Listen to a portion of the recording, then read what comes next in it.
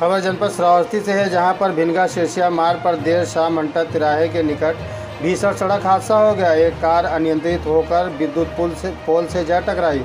हादसे में कार सवार पति पत्नी की दर्दनाक मौत हो गई। वहीं कार में सवार एक वृद्धक पूरी तरीके से सुरक्षित बच गया। दरअसल बनकटवा गाँव निवासी अमरेश मौर्या अपनी पत्नी जमवंती सोनबरसा गाँव निवासी रक्षाराम के साथ भिनगा तहसील में ज़मीन बैनामा कराने आए थे।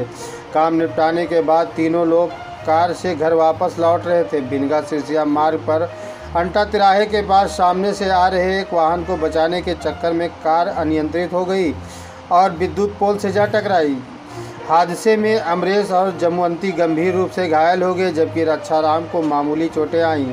इलाज के दौरान घायल पति पत्नी की मौत हो गई। हादसे में सुरक्षित बचे रक्षाराम ने पूरी कहानी बताई तो रोंगटे खड़े हो गए। घायलों के शव को पोस्टमार्टम कराने के बाद परिजनों को शव दिया गया है। वहीं घटना के बाद से मृतक के परिवार में कोहराम मचा हुआ है।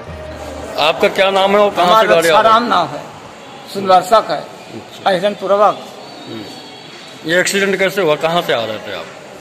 हम लोग जावा जा रहा गाँव के हैं भिनगा से हम्म। आपस। हम्म। आना तहसील के हैं।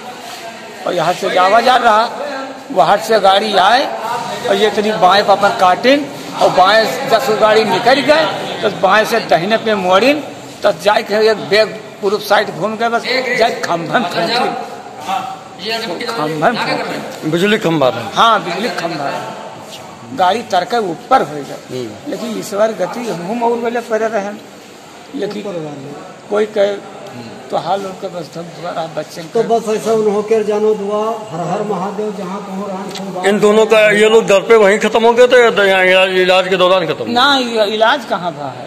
यहाँ से लेके चले आए गहराई वो भैया हमें निकाल लो वो भैया निकाल लो।